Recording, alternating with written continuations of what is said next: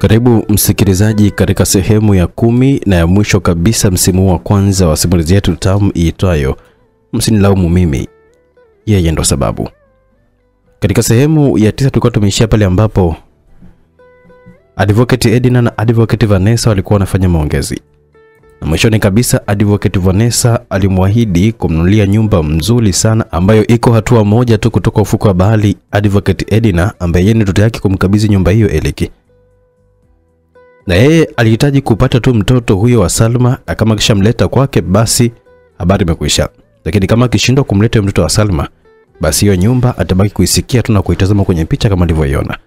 Kilichoendelea msikilizaji, karibu sana, nitakujuza katika sehemu hapa ya kumi na ya mwisho. Tulikuwa tunamalizia msimu wa kwanza, tutakuwa na msimu wa pili ndani ya SMix na upata msimu wa pili sasa hivi bila kuchelewa lakini pia kupitia WhatsApp nambari 0677062012 kama natumia iPhone unaweza kupata msimu wa pili right now sasa hivi.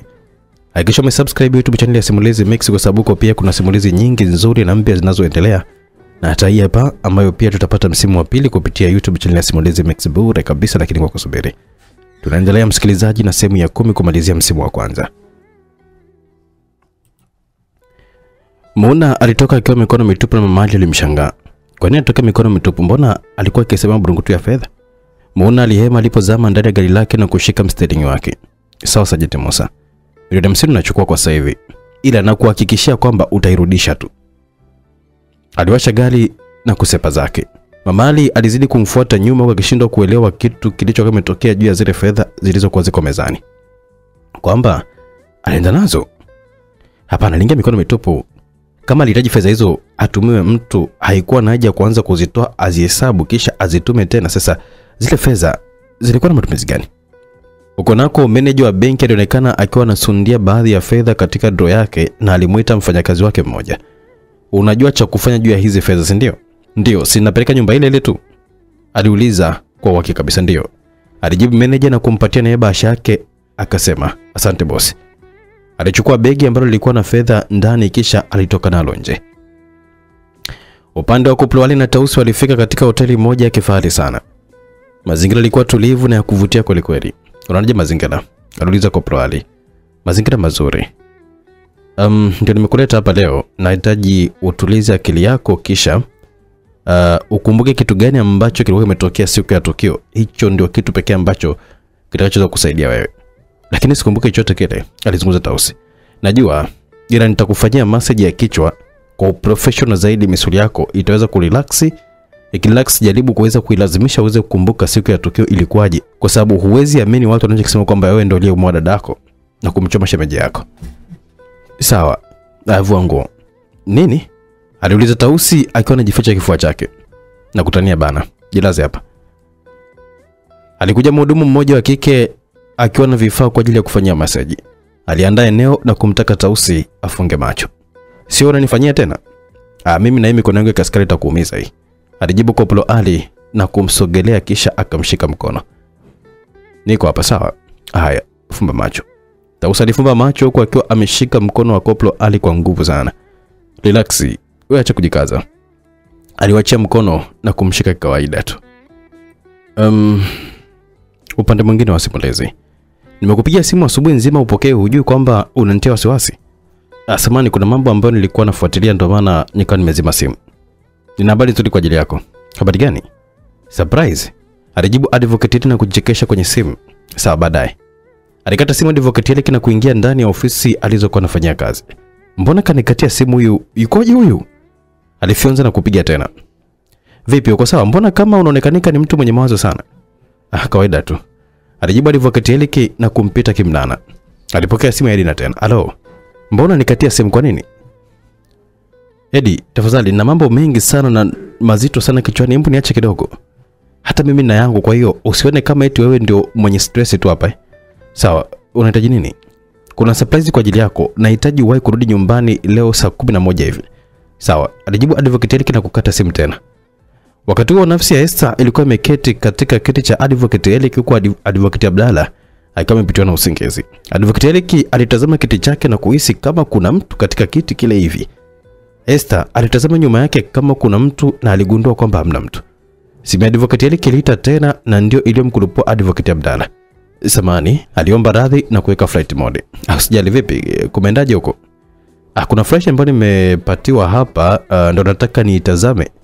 Unajua kama ningekuwa sijarudi kule kwenye nyumba ya mazishi alipokuwa amezikwa Esther, nisingeweza kuipata hii. Okay, hebu fungua tuone kuna nini. Advocate Abdalla alijisogeza karibu na kiti cha Advocate Eliki akimsubiri, ila bado Advocate Eliki alibaki akiwa amesimama pale pale. Nini shida?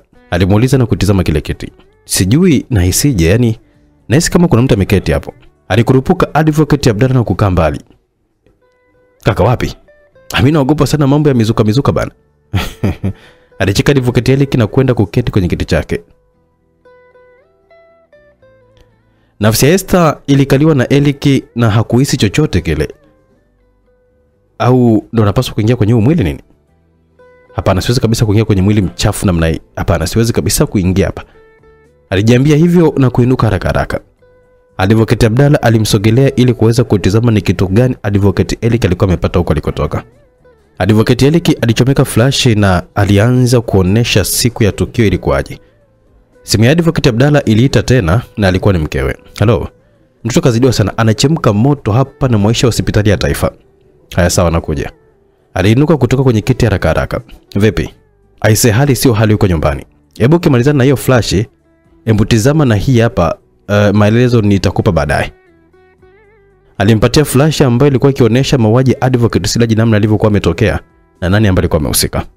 Advocate Eliki alichukua flash ile na kuisogeza karibu na PC yake huku akiwa anaendelea kutizama ile ya mwanzo aliyokuwa amekwisha kuichomeka. Sasa hamna hata sauti jamani. Alijiambia kwa akiwa anazidi kutizama matukio baadhi ya siku ile ya msiba. Nafsi ya Esther ilibaki kimshangaa tu anatizama kipi kigeni ambacho hajakiona au kuna kitu ambacho alikuwa anahitaji kukifanya. Mbele aliona TV ikiwa inatangaza juu ya kupatikana kwa eneo la mauaji ambalo lilikuwa ameuliwa mamake Tazan.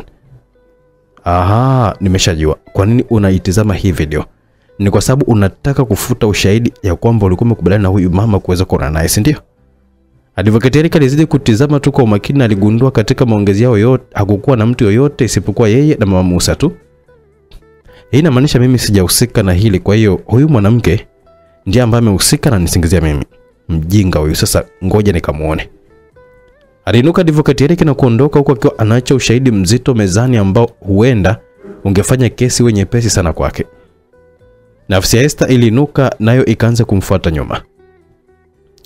Upande wa Mona aliwasili kwake kichwa kikiwa kinamuuma na kumgonga sana. Mama Ali akiwa bado katika uchunguzi wake, pembezoni mwa nyumba ya Muna liliingia gari moja jeusi kubwa, na alishuka kijana ambaye mkono wake wa kulia ulikuwa umebeba begi, na huyu ndiye aliyekuwa amekabidhiwa fedha kuweza kuzileta kwa Muna. Aliingia ndani na mama Ali alikuwa ameshafanikisha kumpiga picha mbili tatu hivi. Alimvuta kwa karibu haswa lile begi. Ah, hii inamaanisha kwamba hizi fedha kuna mali zinapaswa kwenda. Wakanazani leo nitakuwa na siku nzima hapa wallahi. Alikiingiza kiasi cha fedha ndani na kuondoka zake. Vipi, mbona begi kubwa hivyo? Aliuliza na mama yake. Ah, kwa kweli aisee, naelekea kwa kicha. Aliyasema hayo Dennis na kutupa ufunguo wa gari kwenye sofa kabla hajajitupa naye mwenyewe na kukaa. Haya, vipi nawe mwenzangu? Nimejaribu kufuatilia kamera za barabarani, kama nitapata hapa moja kwa moja itaonyesha nani ambaye alikuwa akitufuatilia. Ehe, ilikuwa imekuwaje? Imekuwaje? Hii nchi ya kipumbavu sana, ina kamera hata moja basi? Yaani nimechoka. Hapo hapo simu yake iliita. Halo bosi. Ndio, halo. Alisikiliza kama sekunde ishirini hivi na kuuliza, umeiona sura? Hamna. Hebu ngoja, nakuja mwenyewe hapo sasa hivi hapo. Nini tena? Aliuliza Mamuna. Ah, kuna jamaa alimwachia fuatili swala zaidi, ndo ambaye kanipigia hapa na kuniambia kwamba kuna gari moja ambalo ameliona liko liko nyuma yangu. Hebu ngoja kwanza nimwahi. Alitoka mbio mbio na kupamia ile begi la fedha. Jamani, watu wa hii nyumba mbona ikaeka? Aliuliza Mamuna, na alipokuwa akilifuata lile begi, Dennis akarudi tena na kuchukua ufunguo wa gari huku akizidi kulikanyaga tu. Ni nini tena na wewe? Funguo lisau mama. Alijibu Dennis na kumwonyesha funguo kisha akase, akasepa zake. Mama Muna aliinama na kuokota lile begi. Lina nini humu? Mbona lizito hivi? Aliuliza na alipolifungua alishtuka baada ya kukutana na fedha za kutosha. Alifungua lote na kuhakikisha kama zote ni fedha. Muna, hizi hizi hizi umetoa wapi? Muna alimtazama mama yake. Usitake kuniambia eti kwamba umetoa kwenye akaunti ya Esther. Unadhani ningetolea wapi hiyo milioni hamsini? Unawezaje kufanya hivi wakati unajua kabisa kwamba akaunti zake zote zipo chini ya uchunguzi? Usijali kuhusu hilo kwa sababu akaunti hata serikali hawaitambui. Ilikuwa ni akaunti ya siri kwa ajili ya Tausi. Okay, tuseme sawa. Haya, hizi hela unapeleka wapi? Advocate Edna kacharuka huko. Anahitaji fedha kwa ajili ya kuweza kumtoa mumewe katika kesi au tofauti na hivyo wote anatupeleka polisi. Na hofu yangu inazidi kwamba anasimamia kesi yetu sasa. Tukifanya upuuzi tu atatusweka ndani. Unahakika kwamba kama tukitoa hii pesa tutakuwa tuko salama? Uhakika ndio sina, ila hatuna budi ila kujaribu tu, alijibu Muna na mama yake alimtizama. Upande mwingine wa simulizi, hebu jaribu sasa taratibu taratibu kabisa kuweza kuvuta kumbukumbu za nyuma taratibu, hata usifuse kumbukumbu, bali iachie tu akili yako iweze kukumbuka yenyewe. Tausi, Tausi, Tausi, alianza kusikia sauti yake akiwa anamuita. Uko wapi? Alizidi kuisikia sauti hiyo. Dadangu ananiita. Sawa, endelea kukumbuka tu zaidi. Alijibu kwa ploari na Tausi alianza sasa taratibu kuweza kurejewa na matukio ya nyuma baadhi. Upande wa Advocate alifika tena katika nyumba ya kina Sergeant Musa na safari aligonga geti kabisa wala hata hakushughulika na switch. Tena aligonga kwa nguvu sana na kuonesha kama mtu ambaye alikuwa amekerwa na jambo fulani hivi. Mamusa alifika getini na kufungua. Uoni kengele wewe? Aliuliza kabla hajajua nani alikuwa anagonga ile geti. Ni wewe muuaji ndio umekuja kunimalizia na mimi si ndio? Aliuliza kwa kufoka. Alivyokatilika alizama ndani na kumuonesha flash. Nadhani hapa flash itatuambia ni nani muuaji kati ya mimi na wewe. Walizama wote ndani na hapo alimkuta Baba Musa akiwa anatizama televisheni. Samani mzee wangu. Alichomeka flash nyuma ya TV na kuweka upande wa USB kisha akaplay. Ni nini? Aliuliza Mama Musa. Ni mimi na wewe na yeye tu ndo ambao tulikuwa tuko eneo lile. Mimi sijamuua na nawaka kabisa kwa hilo kwa sababu pia kamera za ofisi yangu zinanionyesha kwamba nilikuwa niko ofisini kwa muda huo. Sasa nakuuliza Mama Musa, kwa nini umemua Matazan alafu unajua kunisingizia mimi? Akauliza advocate yake. Nini? Yaani mimi ni muue Matazan? Kwa nini muue? Mimi nitajuaje?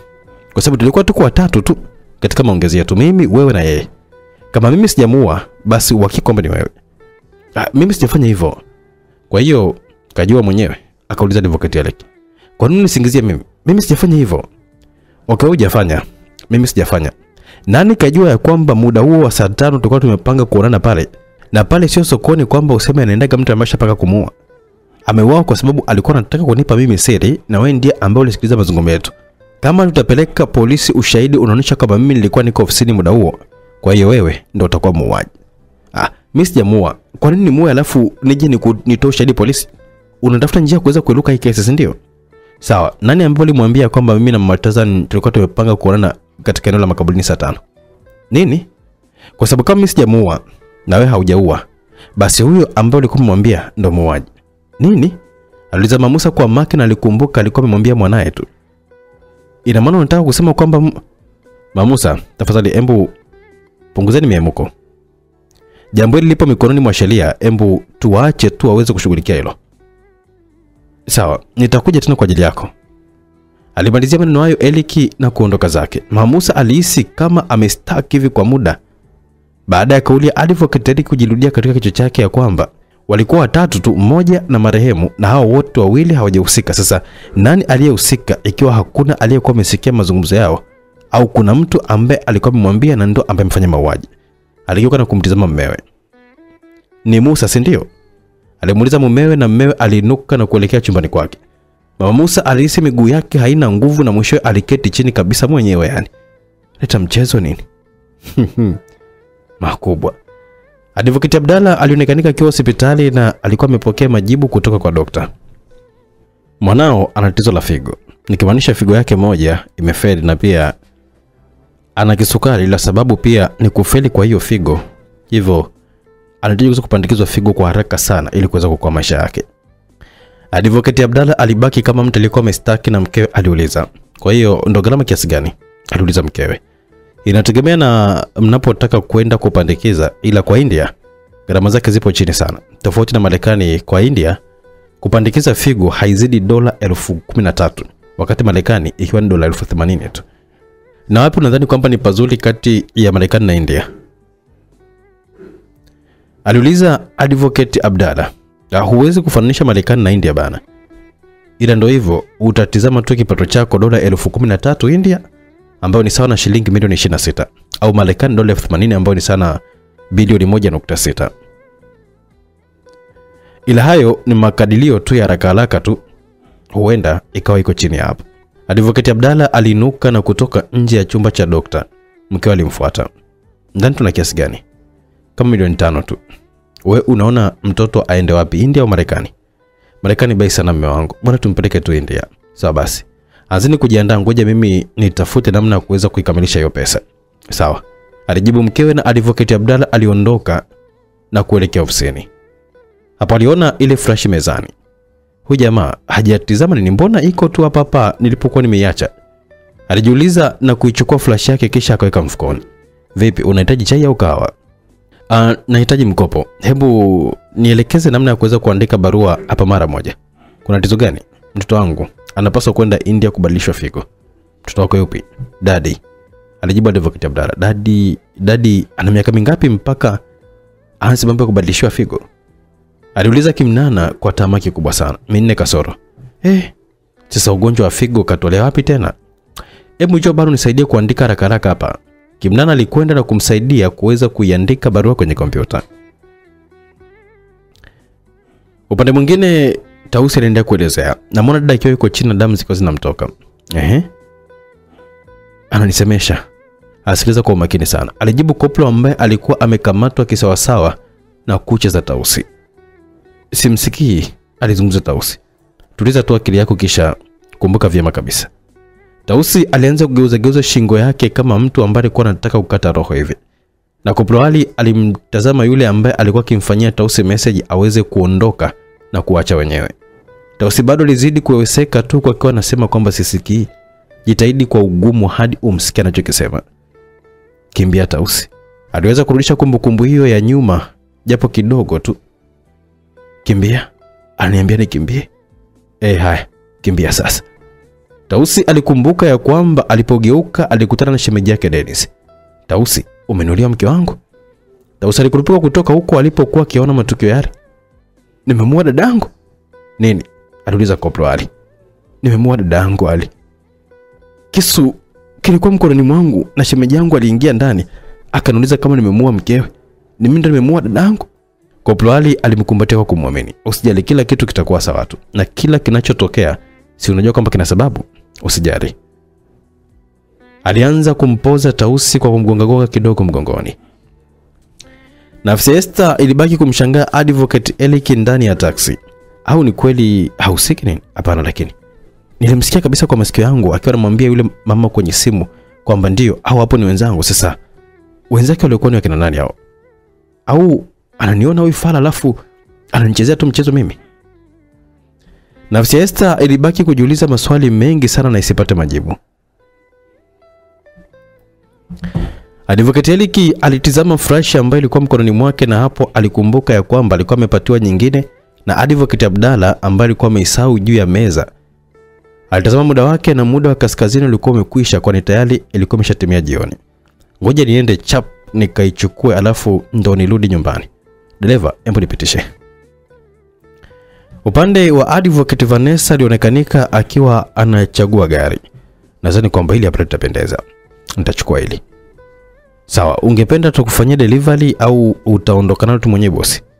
Um, nitakupatia naoni ya mahali pa kulipeleka ile gari. Sawa, basi njoo ufanye malipo huko. Vanessa alikuwa anatembea anaelekea kwenda kufanya malipo, aliliona gari moja hivi ambalo lilikuwa limempendeza sana. Lile ni bei gani? Uh, lile kidogo madam, uh, linawapendeza wanaume wakiendesha. Natambua na ndio maana nikauliza bei yake ni gani, bei gani. Upande wa Advocate Edina akiwa ipo kwake alionekanika mwenye huzuni sana. Huku akiwa amewasha mshumaa na picha mtoto mdogo mwenye umri kama wa miezi miwili aliyekuwa yuko ndani ya baby show. Nimekukumbuka sana binti yangu kipenzi. Uliondoka ukiwa bado mdogo sana kipenzi changu. Msamehe mama yako kwa sababu aliyakatisha maisha yako Rosi. Nisamehe binti yangu, ukweli ni kwamba hata baba yako pia hafahamu kama mimi ndiye nilikuwa nimehusika na kuweza kukua kwa sababu alijua kwamba umekosa pumzi na kufa tu kama daktari alivyokuwa ameona. Sio kwamba sikuwa na kukupenda, nilikupenda sana. Shida ni kwamba Haukuja kwangu wakati sahihi. Ulikuja wakati ambao mimi bado nilikuwa nahitaji kuweza kujiendeleza na masomo yangu ya nchi za nje. Kuna babako pia alikuwa amekataa kabisa, akisema kwamba mimi sipaswi kwenda kokote kule na kukuacha wewe ukiwa bado mdogo hivyo. Sikuwa na budi bali kukatisha maisha yako tu ili tu niweze kutimiza malengo yangu. Hatimaye leo mamako ametimiza malengo yake. Nimekuwa ni mtu maarufu kwa kazi yangu ya sheria, na ungekuja wakati huu basi, aisee, nisingeli kabisa kukatiza uhai wako. Upande wa advocate Eliki alifika ofisini na kumkuta Kimnana. Vipi, mbona umerudi muda huu? Ah, kuna flash nilikuwa nimeisahau mezani ndo naifuata hapa. Kwa hiyo nikusubiria uteke ndo nifunge au nikuachie tu wazi utafunga tu mwenyewe? Natoka muda huu, alijibu advocate Eric na kurudi ndani haraka haraka. We muuaji. Iliita nafsi ya Esther na Kimnana aligeuka kutizama upande aliyopo. Unaniona mimi? Unanisikia si ndio? Wewe ongea na kusikia. Alijibu Kimnana. Nafsi ya Esther ikauliza mimi? Ndiyo, ongea na kusikiliza. Nafsi ya Esther ilipatwa na presha na kujikuta ikirudi nyuma kwa uoga sana. Eh bwana, eh, sikiliza. Huo mzigo wa madawa nusu yako nusu yangu. Mambo ya kuniambia kwamba eti umepanda, mimi sitaki. Sitaki kuelewa kabisa. Huo mzigo umepanda baada mimi kupatia hela yangu, sio? Aliuliza Kimnana na kutengeneza vizuri nywele zake sikioni, na ndipo hapo nafsi ya Esther iligundua Kimnana alikuwa na iPod kwenye sikio lake, hivyo alikuwa akizungumza na simu. Advocate Elik alitoka huku akiwa anageuka nyuma. Haya poa, Kimnana alikata simu. Vipi? Sijaiona sasa, sijui itakuwa imedondoka kwa wapi yani, ila usijali, nisikupoteze nisikupotezee muda, kesho nitaitafuta tu vizuri. Vipi, nikusaidia kufunga? Ah, nitashukuru sana, alijibu Kimnana. Alafu una kasauti kako mwenyewe cha uchokozi Eric bana, hebu nifungie tu mie, unipe funguo bwana. Haya bwana, kusifiaka tundoaga utaki kabisa yani. Tausi alirudi nyumbani akiwa ameshikana mkono na Ali. Ehe, huyu mama Ali, imekuwaje? Mbona taa hajaziwasha? Labda hajarudi nyumbani, lakini sio kawaida yake hata kidogo. Basi mpigie simu. Halo mamali. E, ndio. Wapi hiyo? Ah, nimekuachia nyumba hiyo ugalagazane na mtu tu hapo, usianze kushangaa shangaa tu, changamka. Hebu acha maneno yako bana, uko wapi? Ah, mimi sirudi leo babangu. Kesho nataka nije nitoe shuka tu lenye damu hapo. Changamkia hiyo mama hapo. Mamali alikata simu na alikuwa akila zake tu baga ndani ya gari. Wacha tuone utatoka saa ngapi huko ndani na hela unapeleka wapi? Kasemaje? Arudi, alijibu Ali. Afadhali eh? Afadhali, afadhali ya nini?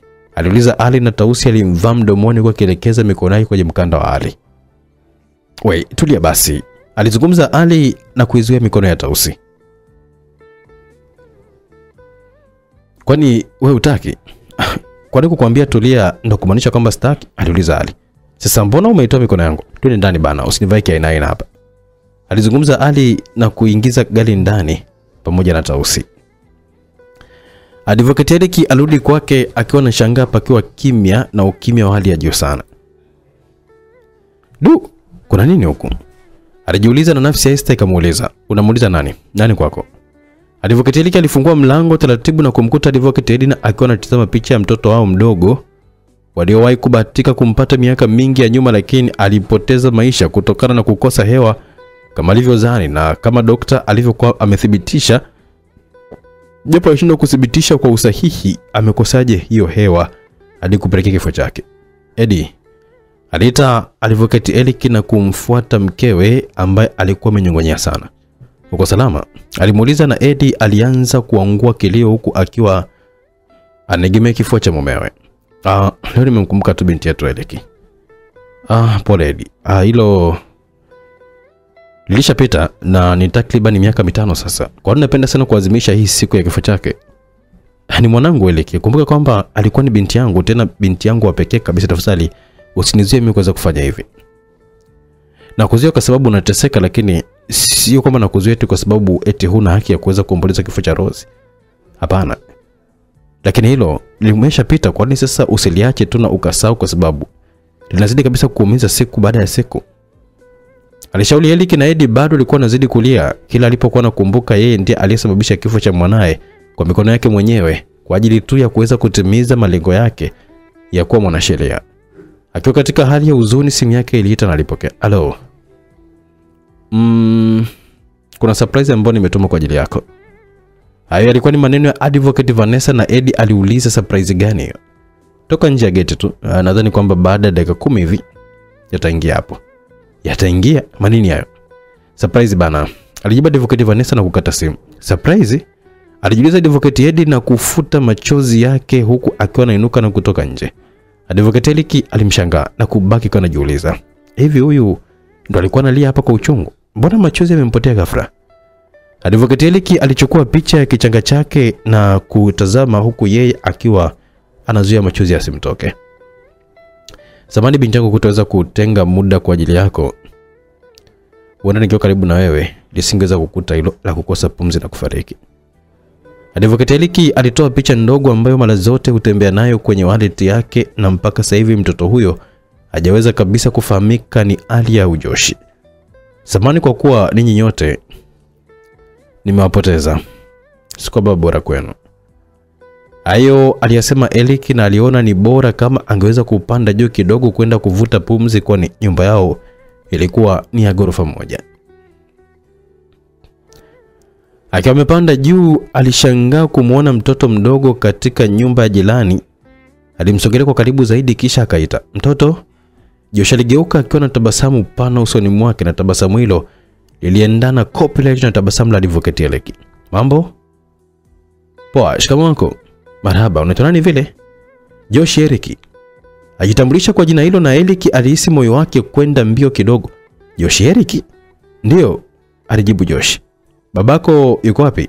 Ah, mimi niko na mama rohoni tu. Josh, unazungumza na nani? Aliuliza mama rohoni na haraka haraka alitoka ndani kwenda kutizama ni nani aliyekuwa anazungumza na mwanaye. Nenda ndani. Alizungumza kwa sauti ya juu na Josh aliondoka haraka haraka. Jirani samani, maana alikuwa amenivutia kidogo ndo nikaona kwamba nizungumze naye. E, sikuzani kama upendi. Aliyasema hayo advocate Eleki. Mama rohoni akumjibu kitu zaidi ya kuingia ndani. Umefuata nini kule kwenye, kwenye veranda? Hamna, nilikuwa nacheza tu, yeye ndo ambaye akanisemesha. Akakusemesha? Wewe huwezi kabisa kuacha kumjibu na ukimbia ndani. Lakini mama rohoni, sio tabia nzuri kuto kumjibu mtu. Nadhani kwamba hata wewe mwenyewe unifundishaga hilo. Kwa sasa hivi upaswe kumjibu yoyote yule wala hata kusemeshana na yoyote yule Josh. Maisha yako hayako salama hadi siku nitakuwa nimekwambia. Vumilia tu sawa? Sawa, alijibu Joshi na mama rohoni alimfuata kisha akamkumbatia kwa kumtoleza. Sikufundishi kuwa mtoto mbaya, lakini nahitaji ufanye hivyo kama nilivyokuambia. Sawa, kwa sasa hivi. Rohoni, mimi nakusikiliza wewe. Nashukuru kwa kuwa unanisikiliza. Alimbusu Joshi kwenye paji la uso na mwishowe aliondoka. Alipoondoka tu Joshi akarudi tena mbio mbio na alimkuta Eleki akiwa bado amesimama na kutizama kule kule. Anko aliita na kucheka. Eleki naye alicheka tu. Ah, umemkimbia mama eh? Aliuliza advocate Eleki. Ah, kesho si utakuwepo? Aliuliza joshi ndio Basi nitakuwa niko hapo kwa muda kama huu. Haya, usiku mama eh? Kwako pia. Haya, alijibu Joshi na kukimbilia ndani. Alicheka advocate Eleki na ugeuza uso wake baada ya kusikia mlio wa gari. Aliona magari mawili yakiongozana huku akiliona gari ambalo ni favorite kwake, yani gari alilokuwa analipenda likiwa ni miongoni mwa hayo mawili. Nafsi ya Esther ilitazama na advocate Edna alikurupuka kwa kelele na shangwe kubwa huko nje ya gate. Advocate Eliki alibaki akitizama tu. Esther alimtizama na kumuuliza, hayo ndo malipo ya kazi chafu ambayo umeifanya wewe na mkeo, si ndio? Eriki, Eriki mme wangu, aliita Edina akitizama ndani kwa kelele za hatari sana, huku akiwa ameshikilia funguo za magari yote mawili. Sitaki hata kusikia pumbavu yenu. Nafsi ya Esther ilitoka na kuondoka pale kwenye veranda huku ikipishana na advocate Edina ambaye alikuwa akija kwa makelele ya kutosha. Eriki, umeona hayo magari? Ndio nimeona na naweza kuuliza kama imetoka wapi? Si ametoka dukani? Shuka chini ukatizame your favorite guys here. Advocate Eliki alitoa mkono wake na kumtizama Edina. Nini hauna furaha? Labda nirudie swali langu tena. Hayo magari yametoka wapi? Oh, nimeyanunua. Umeyanunua? Uyanunue wewe alafu kiaona usurprise, si ndio? Ushangae. Bebe, haya magari bwana niliomba ninunuliwe na bosi wangu na nikamwambia kwamba anikate kiasi gani kwenye mshahara wangu lakini hakuwa amenijibu barua yangu. Leo tu ndo ambao akaniambia kwamba kuna surprise. Sasa zinakuja. Kwa hiyo hata kwangu pia imekuwa ni surprise pia. Mshahara wako? hivi mimi ndo sijui kama nalipo kiasi gani? Au wewe ndo hujui kwamba nalipo kiasi gani? Eliki ina maana kwamba uniamini? Edina. Sio kwamba nalipo laki nane kwa mwezi. Sio wewe. Halafu ukopeshwe gari mbili za sio chini ya milioni sabini edna edna hivi mimi naonekana kama mtoto kwako si ndio kwa hiyo mimi ndo mpuuzi kwako. Kwa hiyo mimi nimefanya haya kuweza kutimiza malengo yako. Nimefanya vibaya kuweza kutoa mshahara wangu mimi ili tu upate gari la ndoto zako. Sijasema hivyo. Sasa kwa nini unanishuku hmm? kama hujapenda jitihada zangu basi sawa naenda kurudisha. Siku hii ilikuwa ni ngumu sana kwangu nimepata furaha kidogo usiku bado hujataka unataka kurudisha tukule kwenye, kwenye huzuni. Edina aligeuka akitaka kuondoka na ile kalimzuia kwa kumshika mkono. Nafsi ya Esther ilifika chini na kuwatizama sasa. Sikuwa na maana hiyo mke wangu. Ila nahofia tu usikute kwamba imetoka kwa mwanaume mwenzangu edi sihitaji kabisa kukupoteza katika maisha yangu yote. Sihitaji hilo liliweze kutokea. Alimkumbatia na kumbusu. Ndiyo. Lazima mpongezeni tu wauaji baada tu ya kulipwa kwa mliokuwa mmeyatenda ndio madam Vanessa. Ndio anafikiri utaondoka tu maana tumesha mkabidhi funguo zote mbili Vanessa? Vanessa? Ha? Yule aliyemgonga mdogo wangu. Mpuuzi mkubwa huyu. Anajifanya amjui nani kasababisha matatizo kwa mdogo wangu. Kumbe amenyamaza tu ili alipo gari. Nilishangaa nilishangaa sana alipokuwa akijifanya kwamba anamtetea tausi pale mahakamani. Nawaka kabisa kwamba kipo anachokitaka kwa tausi. Huyo sio mwema sio mwema hata kidogo kabisa huyo upande mwingine wa simulizi msikilizaji umenipotezea muda wangu mwingi sana ndo nakuja eh aliuliza mama Ali na kukopi namba za gari ambalo lilikuwa limezama katika nyumba ya kina. Sajenti Musa Zabron. Okay, kumbe ndo wewe polisi mchafu. Ah, alinyosha na kujiwekaweka mabega yake sawa. Sijapigana siku nyingi kweli yani. Alijiambia na kusema pesa chafu zinapaswa kwenda kwa watu wachafu. Watu wachafu ni nani isipokuwa mimi mama Ali? Upande mwingine alionekanika advocate Abdalla akiwa nje ya chumba cha hospitali alicholazwa mwanaye Dadi, huku mkononi akiwa na yake akizungusha zungusha na kuitazama kana kwamba alikuwa akifikiria jambo la kufanya juu ya hiyo flashi. Aliamua kuchukua simu yake na kuipiga sasa. Je, unadhani ni nani atakuwa amempigia advocate Abdalla huko anakupiga simu? Hebu dondosha utabiri wako kwenye komenti yako hapo chini tukiwa tumefika tamati ya msimu wa kwanza kabisa. Tunachokisubiria kwa hamu sana ni kumwona Esther akiwa ndani ya mwili wa Salma. Tayari anajua siri nyingi, na moja kati ya siri anazana najua ni kwamba Eric ni mtu mbadi, lakini mimi na wewe tunajua ukweli kwamba Eric anapambana kwelikweli kweli kumtoa Tausi katika ile kesi ngumu aliyosingiziwa, lakini Esther hilo haelewi, na kila anapotakiwa kuelewa anakuwa anatoka katika eneo la tukio na kwenda mbali. Mwisho wa siku amejua kabisa kwamba Vanessa baada ya kumgonga mdogo wake basi Eric anafahamu kila kitu na ndo amepewa zawadi ya magari. Hicho ndicho Esther anachokijua. Je, akiingia katika mwili wa Salma akiwa anayajua hayo, nini kitakachomkuta Eric kutoka kwa huyu Esther mwenyewe? Edina anafanya yote haya na kuambia kwa ajili ya Eric. Je, siku akija Eric kutambua kwamba anafanya uchafu kwa ajili yake, vipi atasimama upande wake au atamkataa na kumtia moto? Sio kumchoma moto, namaanisha kwamba kumtia ndani. Kumbuka hawa pia ni mawakili ambao wamepewa kesi sawa sawa.